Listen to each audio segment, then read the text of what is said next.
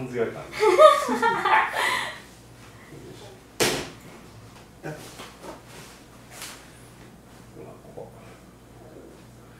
これが、はい。えー服が、えーじゃない白のカッターシャツの襟元が2週間ぐらい汚れてるあ。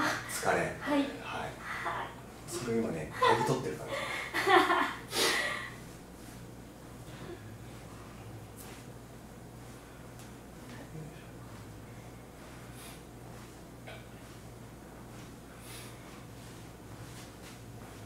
よいしょうわここうわ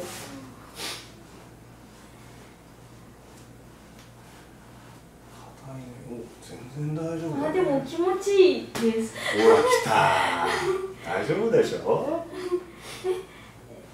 これですよねみんなでもさ叫んでもそうですよ。あだから気持ちいいって言える人は、はい。あの当店のお客さんなんですよ。あああそうなんですね。当店ぐらいの硬さ、はい。そう強さがはい。欲しがってる人なんですね、なるほど。ということは、はい。あのまだ22歳で、はい。この硬さだったら、はい。だいぶしんどかったはずだよ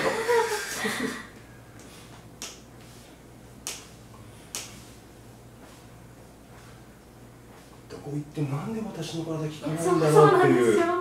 俺私なんでっていう。強くって言っても全然そんなに痛くないみたいな、そうそうそうそうそう。そうそうだからさっき見てて大丈夫かなと思ったけど実は私大丈夫だったはねあ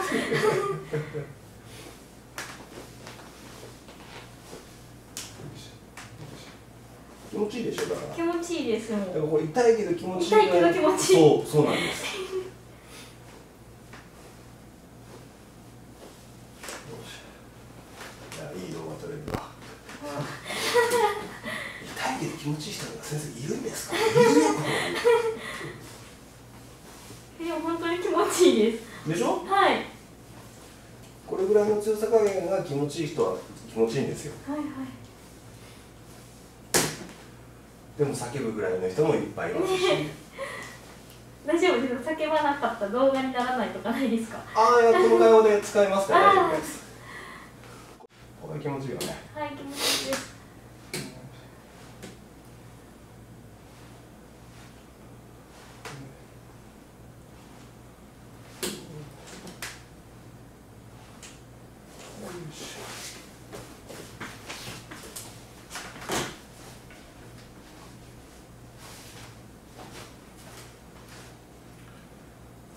いい感じじゃん。なんなら会話も楽しんで帰りますかよいいしょ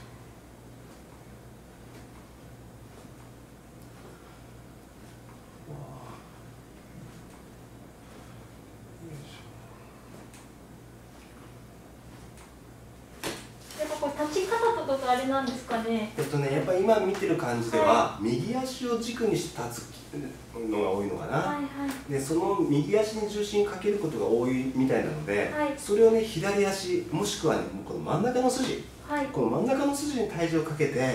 立つように心がけてあげるようにするだけで、はい。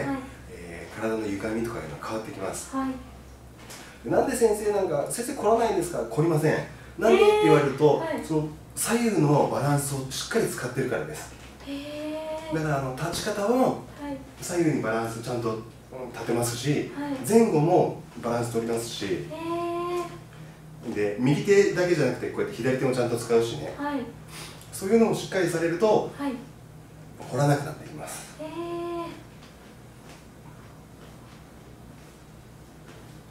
あと深く考え込まないことですね。あ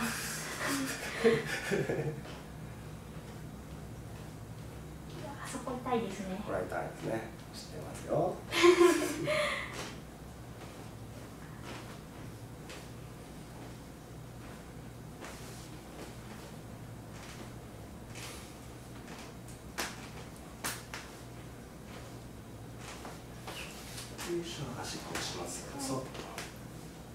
あ気持ちいい。気持ちいい。めっちゃ気持ちいい。さっきのあれ？YouTube で見たとそうだ、ね、違うんですよ。